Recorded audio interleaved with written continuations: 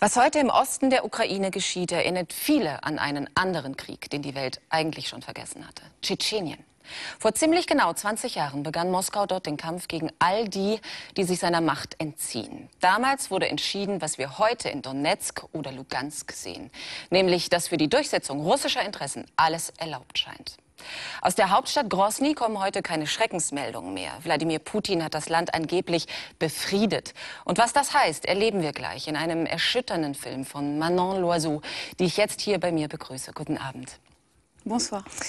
Doch zuvor müssen wir über das sprechen, was in der Nacht zum Samstag vor dem Kreml geschah. Der Mord an dem Oppositionspolitiker Boris Nemtsov, dann die russische Kriegstreiberei im Osten der Ukraine.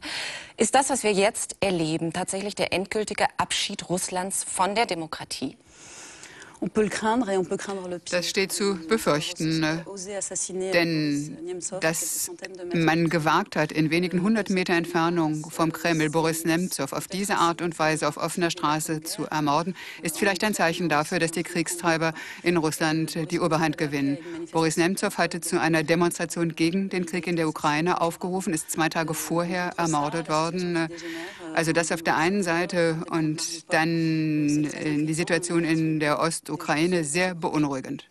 Und kann man sagen, dass diese Kriegstreiberei, diese, dieser Wille, die, die Macht Russlands auszuweiten, um buchstäblich wirklich jeden Preis, dass das vor 20 Jahren mit Tschetschenien begonnen hat? Euh, ja, so kann man es durchaus sagen. Eines ist jedenfalls klar, dass egal ob der erste oder der zweite Tschetschenienkrieg, äh, dort hat es begonnen. Mit dem zweiten Tschetschenienkrieg kam Wladimir Putin an die Macht. Es wurde alles unternommen, um die Menschen, die darüber sprachen, zum Schweigen zu bringen, wie eben auch äh, Frau Politowskaja, die von den Ausschreitungen und der Folter damals schon sprach. Alles begann dort, das ist richtig. In der Ukraine sind sind übrigens, werden die Separatisten geschult, trainiert durch ehemalige russische Kämpfer, die schon in Tschetschenien waren. Also diese Saat der Gewalt. Und genau das werden wir jetzt gleich sehen in Ihrem Film. Wir sehen, wie sich Putins Statthalter in Tschetschenien, Kadyrov, als Retter für ein geschundenes Land inszeniert. Und ja, die Einschusslöcher in den Häuserwänden sind verputzt. Statt Ruinen stehen in Grosny heute blitzende Glasfassaden. Doch die Ruhe ist eine Friedhofsruhe. Die Angst ist überall.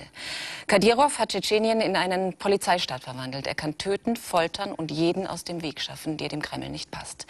Manon Loiseau hat die wenigen getroffen, die noch wagen, sich zu widersetzen, statt zu vergessen auf Befehl.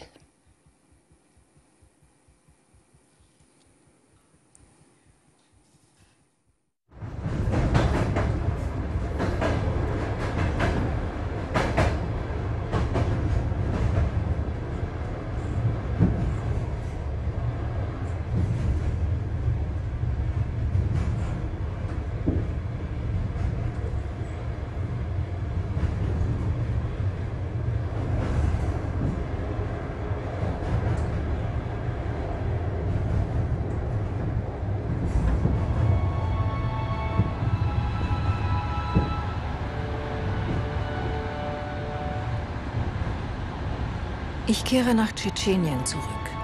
20 Jahre nach Ausbruch des Krieges, zehn Jahre nach meiner letzten Reise. Ich kehre zurück in dieses gebrochene, in dieses vergessene Land.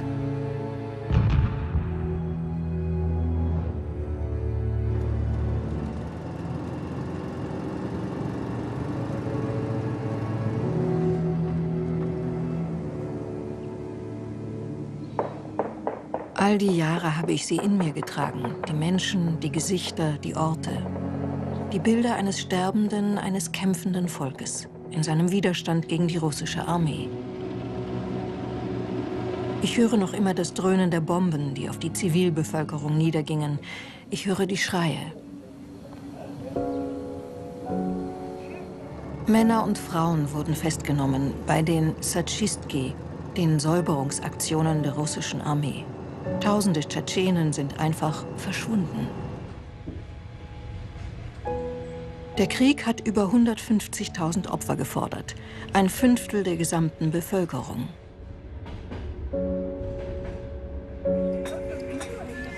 Was ist aus Tschetschenien geworden? Was aus Grosny, der zerstörten Hauptstadt?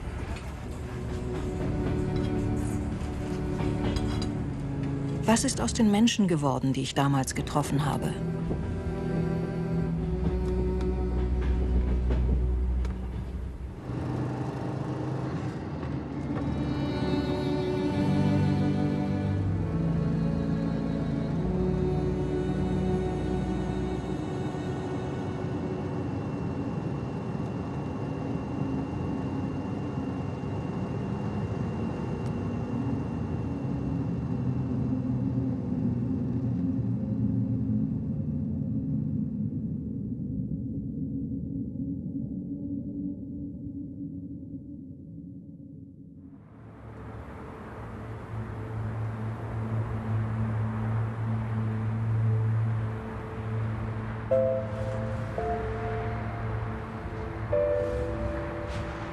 Die Spuren des Krieges scheinen wie weggewischt.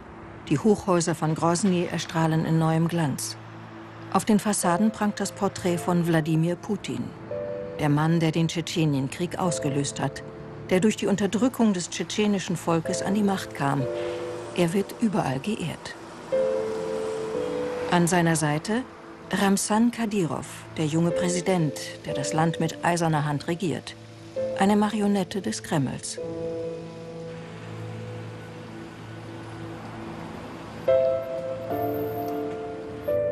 Neue Straßen, gläserne Hochhäuser, der Personenkult. Alles hat seine Ordnung in Grozny. Die Religion ist heute allgegenwärtig. Überall erstrahlen Moscheen mit goldenen Kuppeln.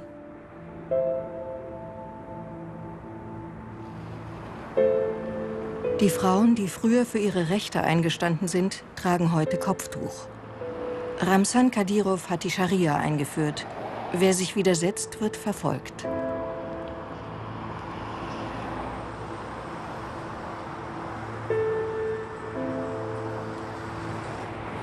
Passanten flanieren auf der Putin-Allee, der ehemaligen Straße der Freiheit.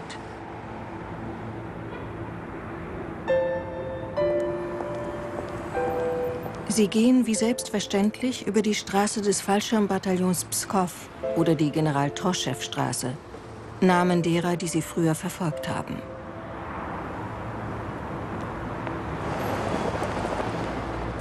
Wie konnte es so weit kommen? Warum hat dieses Volk, das jahrhundertelang für seine Freiheit kämpfte, resigniert?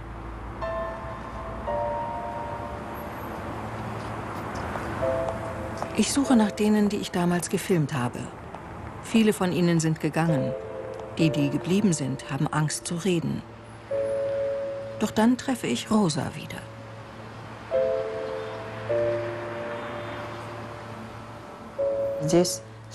Tagsüber erscheint das Leben in Grosny schön. Aber in der Nacht beginnt ein anderes Leben. Wir leben in ständiger Angst. Die Angst ist größer als damals im Krieg. Es heißt, heute sei Frieden, aber das ist eine Illusion. Während des Krieges gab es wenigstens einen klaren Feind. Wir versteckten uns vor den Bomben und den Heckenschützen. Wir flohen in die benachbarten Republiken und wir hofften auf den Frieden. Heute habe ich keine Hoffnung mehr.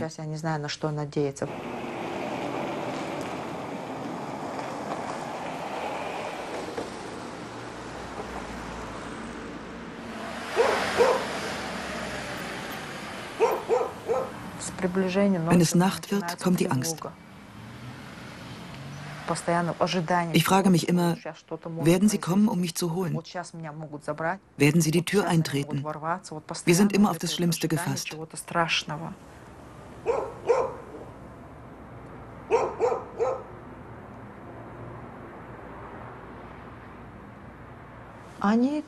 Sie kommen, hämmern an meine Tür und schreien, ich soll aufmachen.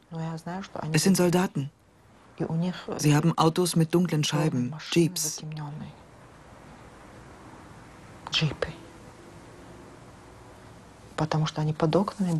Das letzte Mal standen sie mit ihren Autos vor meiner Wohnung. Ich habe sie durchs Fenster gesehen. Sie waren zu acht. Sie kamen hoch und haben mit den Fäusten und Füßen gegen meine Tür gehämmert. Schließlich habe ich aufgemacht. Ich sagte ihnen, dass nur meine Mutter und ich zu Hause seien. Mehr konnte ich nicht sagen. Meine Stimme versagte vor Angst. Ich erinnere mich nicht mehr, was danach passiert ist. Ich war außer mir vor Angst. Am nächsten Tag hatte ich am ganzen Körper blaue Flecken. Sie hatten mich geschlagen.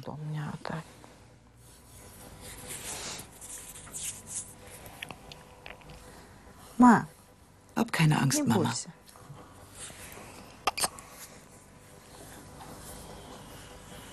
Meine Mutter ist gelähmt. Sie hatte mehrere Herzinfarkte, weil sie so große Angst hatte. Sie haben ihr solche Angst gemacht, dass sie mehrmals ins Koma gefallen ist. Jetzt liegt sie hier und kann sich nicht mehr bewegen. Обездвиженная лежит.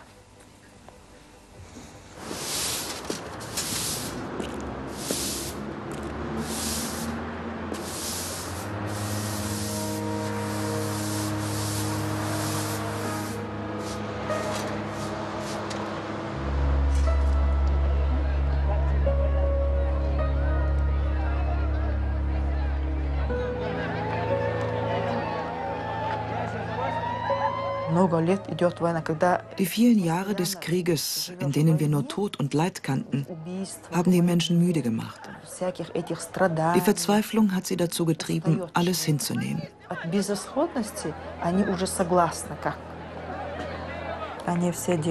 Sie tun so, als seien sie glücklich. An den Festtagen, am Geburtstag von Kadyrov oder Putin, befehlen sie den Leuten am Arbeitsplatz, auf die Straße zu gehen, um zu feiern. Wer sich weigert, verliert seine Arbeit. Sie sagen ihm, er brauche nicht mehr wiederzukommen. Wir feiern, weil wir dazu gezwungen werden.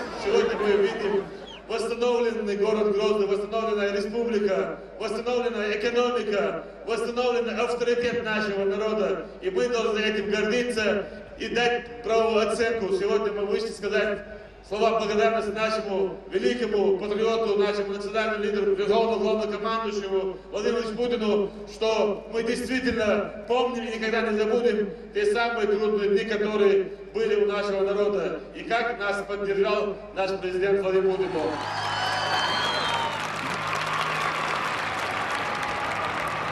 Ein Volk in der kollektiven Schizophrenie, das gezwungen wird, seine Peiniger zu ehren.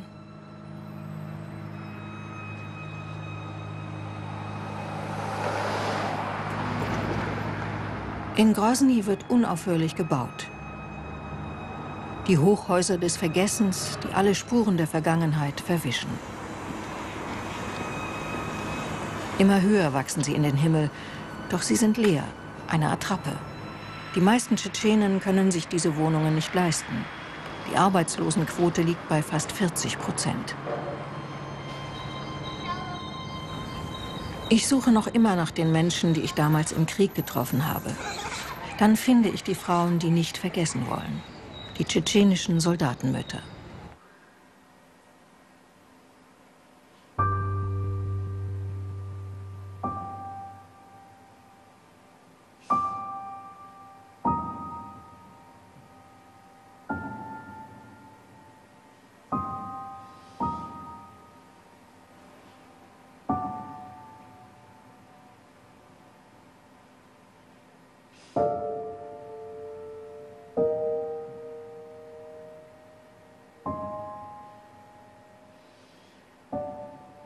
Ich suche meinen Mann und meinen Sohn. Die russischen Soldaten haben sie am 3. Januar 1995 geholt. Ich suche meinen Sohn. Er ist am 1. Januar 1995 verschwunden. Er ging raus, um zu rauchen und kam nie wieder. Die Soldaten kamen ins Haus. Sie zogen ihn aus dem Bett. Er war fast nackt. Er ist nie zurückgekommen. Die Soldaten kamen um 4 Uhr morgens und haben meinen Mann mitgenommen. Seitdem weiß ich nichts mehr von ihm. Ich suche meinen Sohn. Er saß draußen auf der Straße. Da kam ein weißes Auto und hat ihn mitgenommen.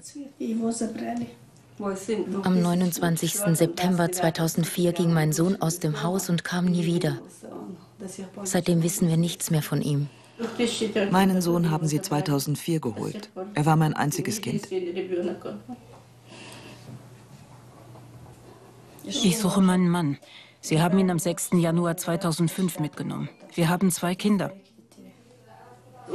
Ich stand mit einem Sohn an einer Bushaltestelle in der Nähe des Bahnhofs. Ein Panzer kam und hat ihn mitgenommen.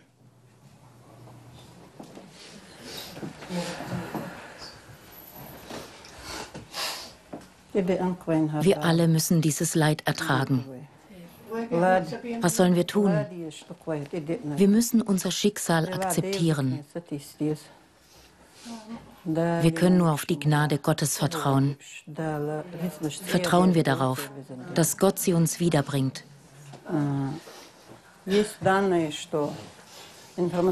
Es heißt, dass über 18.000 Menschen vermisst werden. Ich kümmere mich seit 1995 darum, die Vermissten zu finden.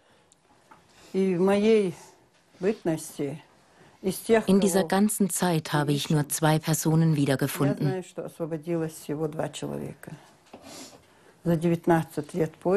In 19 Jahren ist es mir nicht gelungen zu erfahren, was aus den anderen geworden ist. Aber wir dürfen die Hoffnung nicht aufgeben. Eines Tages werden wir die Wahrheit erfahren. Daran müssen wir glauben.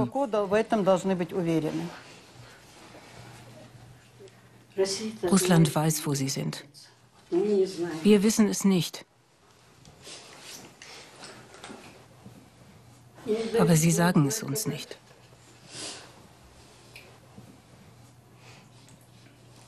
يخنتش اويلانسا ناخن يحصلوش بيسنتين الله بعرخش ايغوش غيلا از جن رخزش دبوغوش أرسنت إقاعة حونا يشيوتوش خلشو حي تخنوي وخنا يقبوتوش السردم قيكبو بيحكي والشونا مخكنا قومنا يا مرت والشونا مل قيكر إقاعة أرس أدوتوش Gewürchner Heisiger, Töchner Trossaner.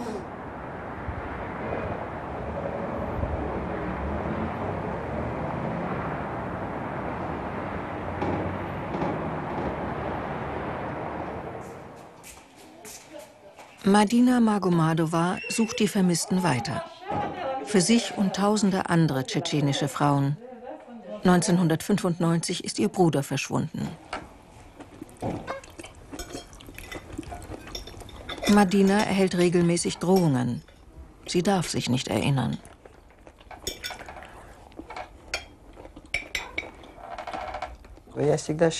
Ich dachte immer, ich sei stark.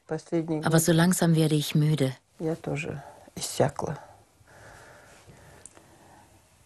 Hätte man mir damals gesagt, dass meine Suche 19 Jahre dauern würde, wäre ich verrückt geworden. Ich hätte nie gedacht, dass es so lange dauern würde. Für die Familien der Vermissten ist es wie eine Folter, die nicht enden will.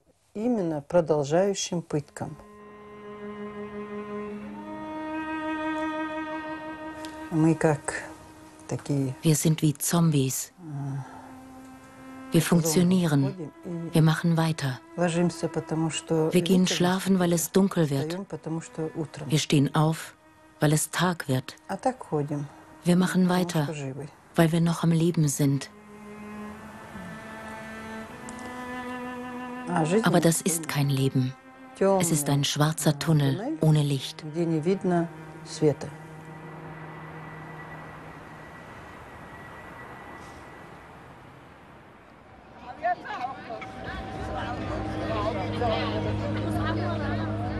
Grozny überdeckt sein Leid. Die Menschen sollen vergessen. Die Stadt gibt sich modern und dynamisch. Sie feiert die Einweihung ihres ersten Einkaufszentrums und die neuen Väter der Stadt.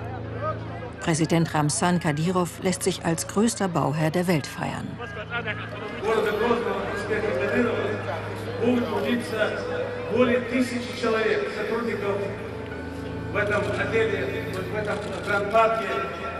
Сотрудники нашего города.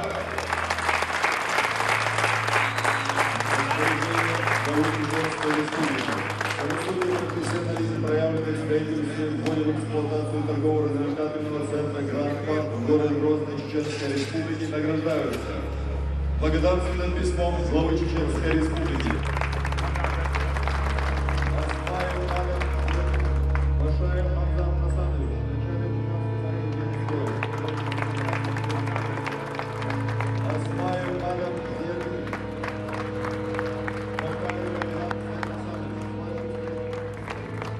Wir werden von einem autoritären Regime regiert, in dem Ramsan Kadyrov alle Macht in sich vereint.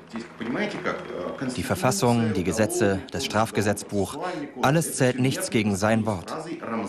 Wenn Ramsan sagt, tötet sie alle, dann werden alle getötet. Sein Wort steht über der Verfassung. Ramsan hat sein Volk, das einst ein so stolzes Volk war, gebrochen. Die Angst ist heute allgegenwärtig.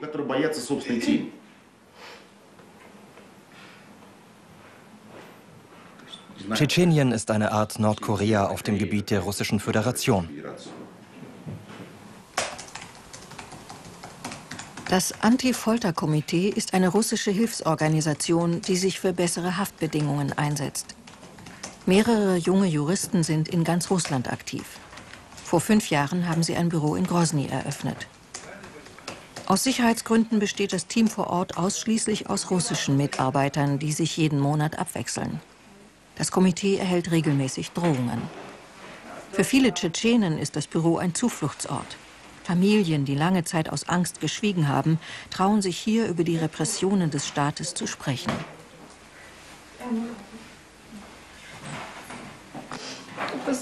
Schauen Sie, wie Sie meinen Sohn gefoltert haben. Sie haben ihm einen Zeh ausgerissen. So haben Sie bekommen, was Sie wollten.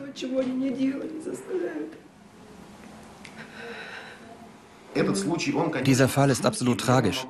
Aber Ihr Sohn ist wenigstens noch am Leben. In den meisten Fällen, die wir hier bearbeiten, finden wir die Vermissten leider nicht wieder. Es ist wirklich dramatisch. Wenn Eltern, die lange nach ihrem vermissten Sohn gesucht haben, ihn irgendwann in einem Gefängnis finden, sagen sie, danke Gott, dass er im Gefängnis ist. Das ist tatsächlich so. Die Eltern danken Gott, dass ihr Sohn im Gefängnis ist. Denn dann ist er wenigstens am Leben. Und sie können hoffen, dass er eines Tages wiederkommt, aber das ist leider nur selten der Fall.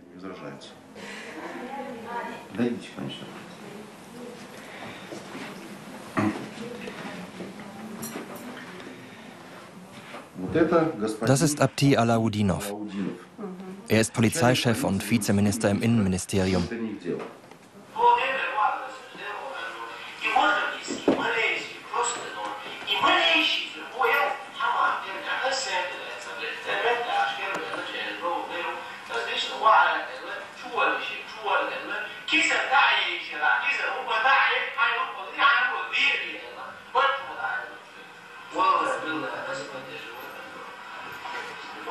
Er spricht vom obersten Befehlshaber. Sie wissen, wen er damit meint? Die Polizisten bekommen den Befehl von ganz oben. Der Minister gibt die Befehle nur weiter.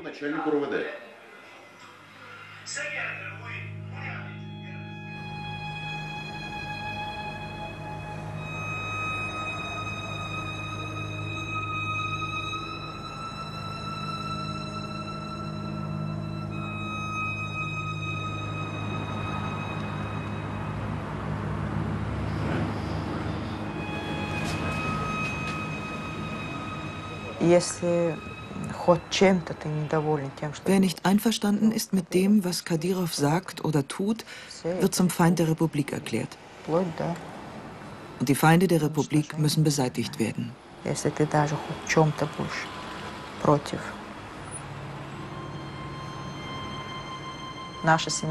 Unser Clan hat Kadyrov nicht unterstützt. Unser Clan war immer gegen dieses Regime. Da unsere Familie Teil dieses Clans ist, sind auch wir verdächtigt. Unser gesamter Clan wird nach und nach ausgelöscht. Die Menschen verschwinden in der Nacht, einer nach dem anderen. Dann findet man irgendwann ihre Leichen von Kugeln durchsiebt. Das Regime erklärt, sie wurden getötet, weil sie Terroristen waren. Die Menschen haben Angst, sich zu wehren. Das Schlimmste ist, dass alle schweigen. Sie haben Angst vor dem, was noch kommen wird.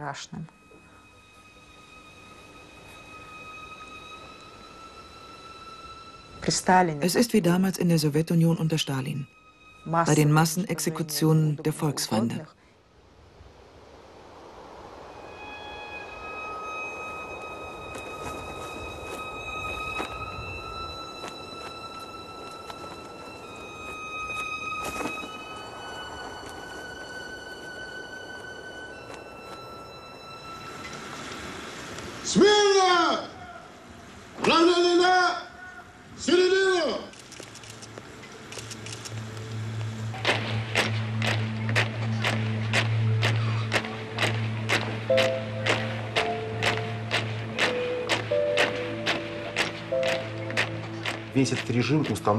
Dieses Regime hat nur ein Ziel. Es möchte so lange wie möglich an der Macht bleiben. Um die Macht zu behalten, sind ihm alle Mittel recht.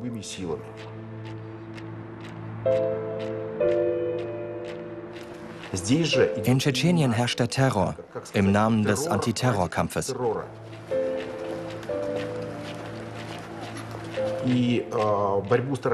Das Regime führt einen ständigen Kampf gegen den Terrorismus.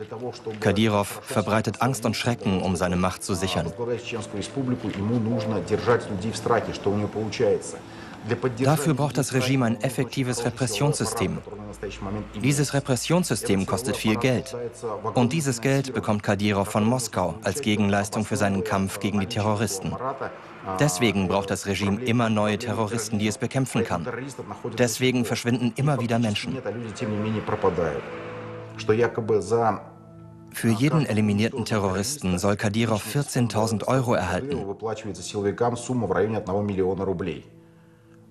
Für diese Summe wird das Regime immer wieder Terroristen ausfindig machen, selbst wenn es keine mehr gibt.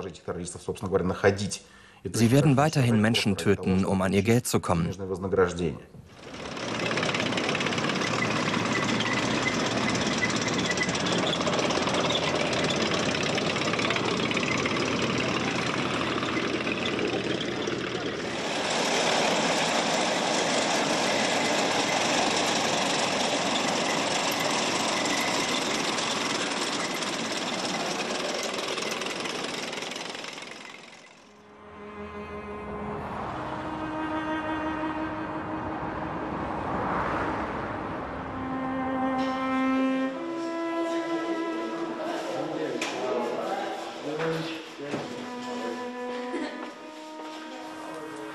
Wir freuen uns heute, so viele junge Leute begrüßen zu dürfen. Wir wollen euch jungen Leuten den richtigen Weg zeigen. In unserer wiedererstandenen Republik. Wir sind die Ersten auf diesem neuen Weg. Wir sind die Avantgarde. Wir gehen voran. Wir haben Ramsan Kadyrov viel zu verdanken. Alle jungen Leute können heute friedliche Wege gehen. Auf Straßen ohne Checkpoints. In unserer schönen Stadt, die der Stolz der ganzen Republik ist. Wir können uns frei versammeln. In Parks, öffentlichen Gärten, in Kinos, in Einkaufszentren, den Hochhäusern. Wir können uns überall treffen.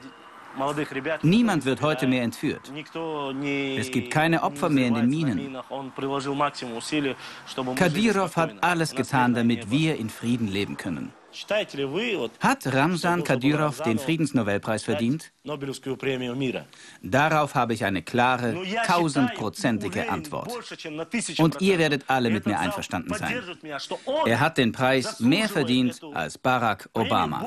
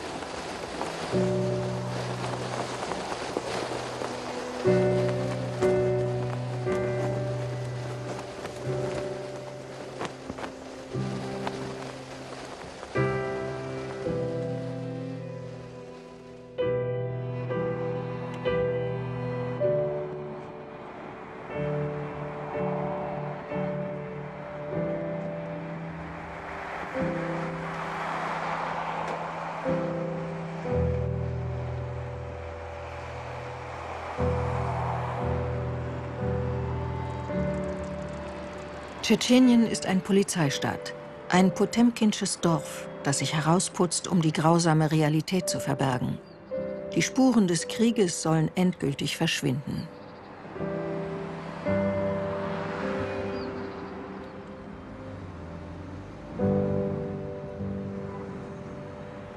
Doch die Gewalt nimmt zu. Im Namen ihres Kampfes gegen den Terrorismus lässt das Regime tausende junger Menschen festnehmen. Die Verfolgung sogenannter Regimegegner nimmt zunehmend willkürliche Formen an.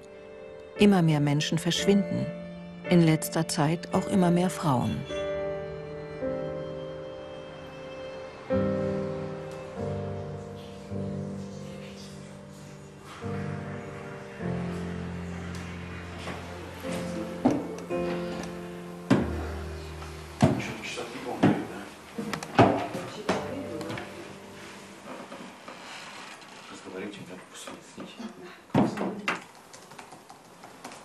Meine Töchter wollten nur arbeiten, damit sie ihren Kindern Essen und Kleider kaufen können.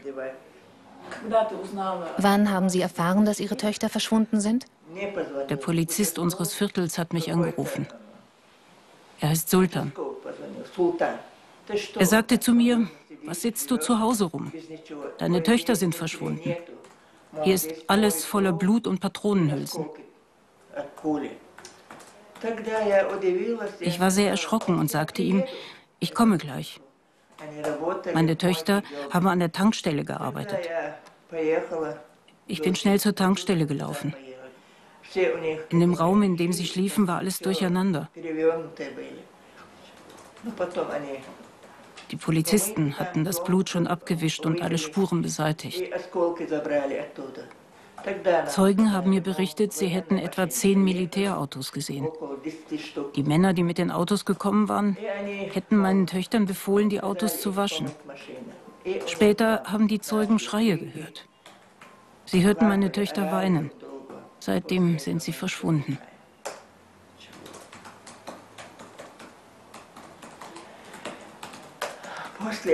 Mir geht es seitdem sehr schlecht.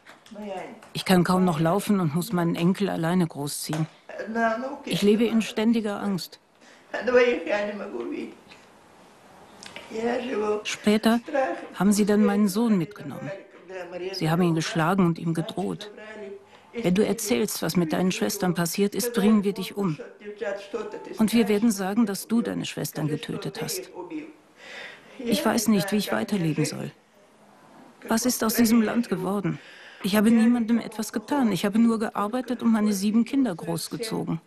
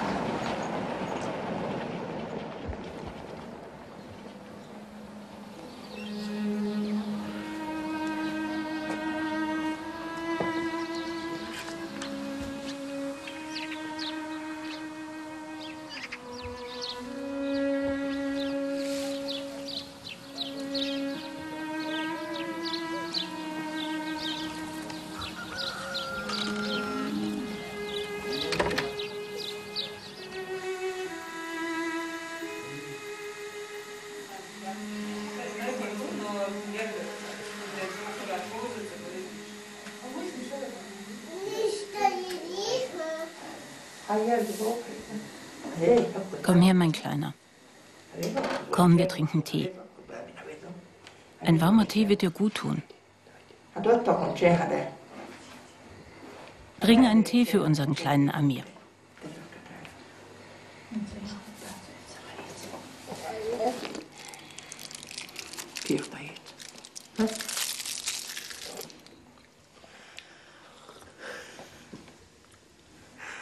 Deine Mutter kommt bald wieder. Sie bringt dir Bonbons mit. Die Mama und die Tante kommen bald wieder.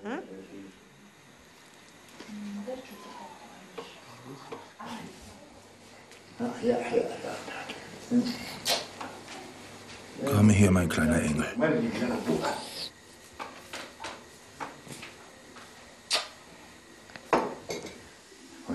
Es ist schlimm, die Kinder so leiden zu sehen.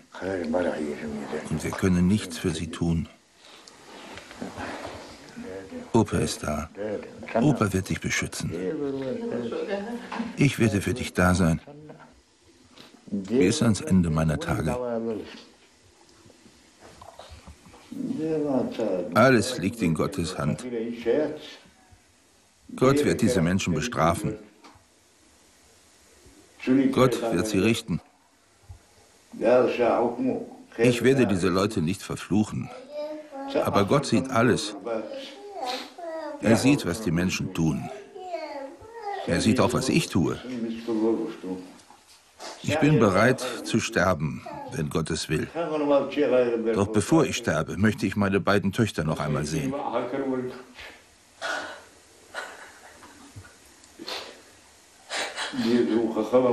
Es ist so schwer. Ich denke Tag und Nacht an sie. Wo sind sie? Leben sie noch oder sind sie schon tot? Wir wissen es nicht.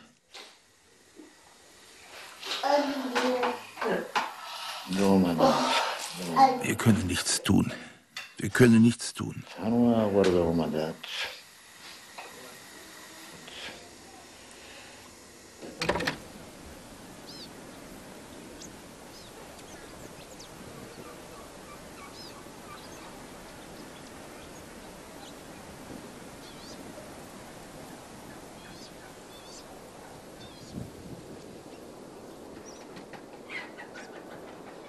Wo sind sie?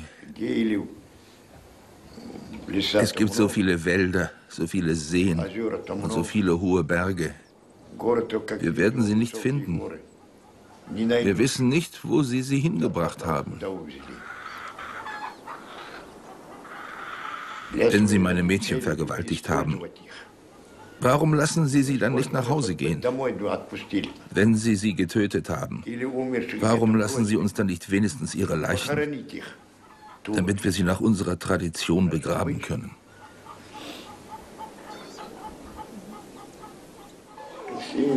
Ich wünschte, der Boden würde sich unter meinen Füßen auftun.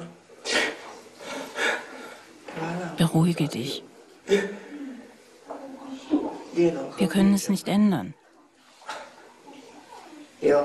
Auch ich könnte immer zu weinen. Aber niemand wird uns helfen. Ich könnte schreien, aber es würde nichts helfen. Wir sind nicht allein mit unserem Leid. Sie haben alles zerstört. Gott wird sie dafür richten. Sie werden dafür bezahlen, dass sie die Kinder zu Waisen gemacht haben. Sie werden dafür bezahlen, dass sie unser Leben zu einem Albtraum gemacht haben.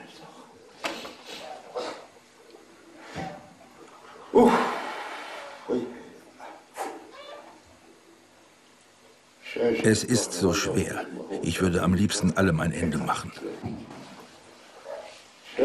Das darfst du nicht. Oder willst du, dass Gott auch dich richtet?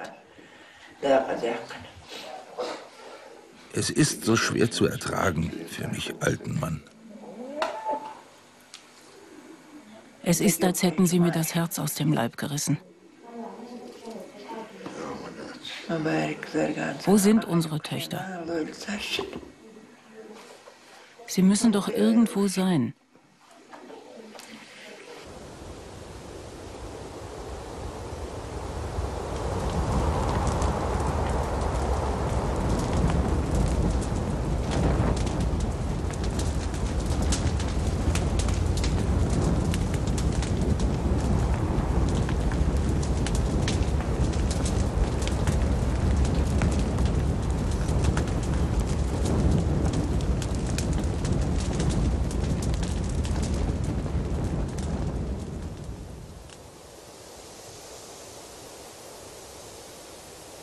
Tschetschenien, Land der verbrannten Erde, gefangen in einer Spirale der Gewalt. Männer, Frauen und Kinder eingesperrt in einem Niemandsland des Vergessens. Das Regime verbietet ihnen, über die Vermissten von heute zu sprechen und sich der Toten des Krieges zu erinnern. Sie sollen alles vergessen, auch ihre tschetschenische Identität.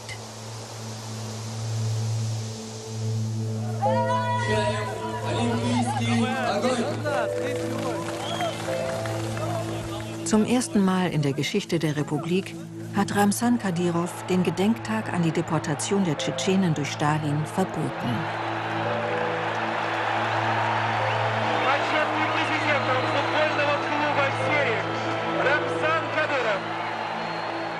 Kadyrov tut alles, um dem Kreml zu gefallen und um die Freude an den Olympischen Spielen des Wladimir Putin nicht zu trüben.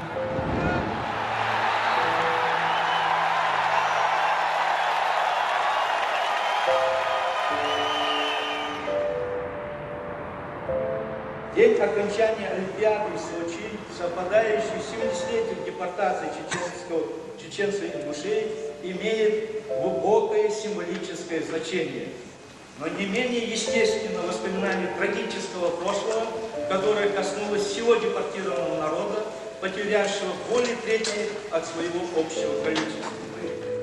Eine Handvoll Männer und Frauen aber wagen es, sich dem Regime zu widersetzen. Intellektuelle, Abgeordnete, Künstler. Sie nehmen an einer Konferenz gegen das Vergessen teil, organisiert von Ruslan Kutajew, ehemaliges Regierungsmitglied und angesehener Intellektueller. Houdinier way. Nochts houdinier boogst nog afgeschiet is dat dat nochtje. Er bij baan giel dat dat.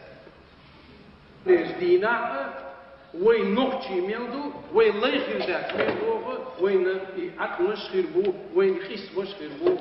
Wat doen wij koot jaar nas kunnen, kilscho duurla, wallah wij gaan hoe meer. Derde dag. Wij komen weer.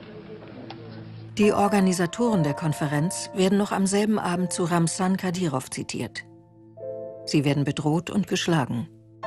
Stundenlang. Ruslan Kutajew gelingt die Flucht. In der Zentrale des Komitees gegen Folter herrscht höchste Alarmbereitschaft. Igor Kaljapin, der Gründer des Komitees, kennt Ruslan Kutajew seit 15 Jahren. Er hat schon nach wenigen Stunden von dessen Flucht erfahren.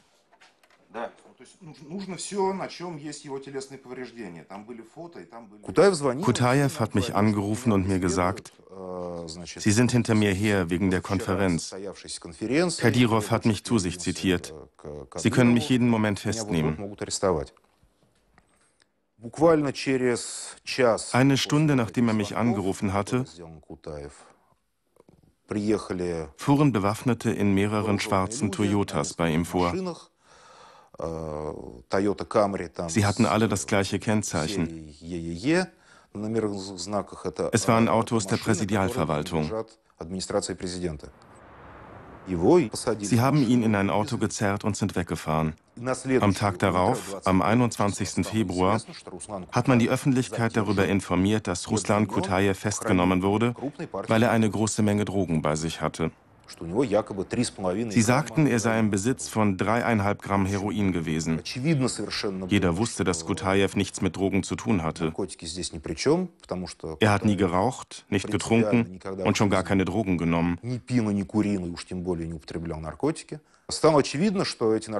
Die Drogen waren nur ein Vorwand, um Kutajew beschuldigen und festnehmen zu können.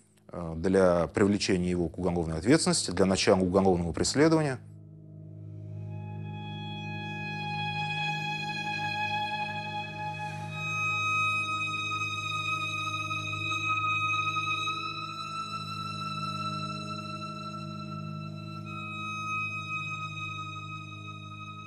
Zwei Personen haben ihn brutal zusammengeschlagen.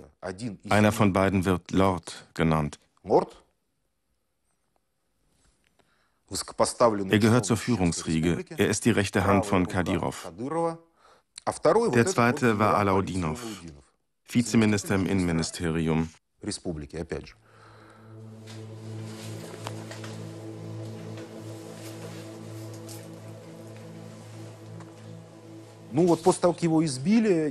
Nachdem sie ihn zusammengeschlagen hatten, haben sie ihn mit Elektroschocks gefoltert. Sie haben ihm ein Messer an die Brust und an die Kehle gehalten. Bei der geringsten Bewegung hätten sie zugestochen.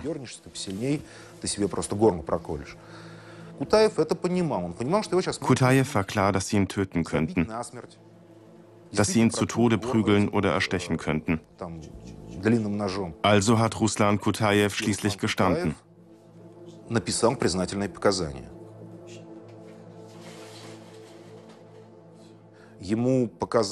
Sie haben ihm Fotos gezeigt von seinem Haus und seinen Angehörigen, von seinem Neffen, der in Moskau lebt. Und sie haben ihm gesagt, wir wissen, wo sie sind. Wir haben deine ganze Familie unter Kontrolle.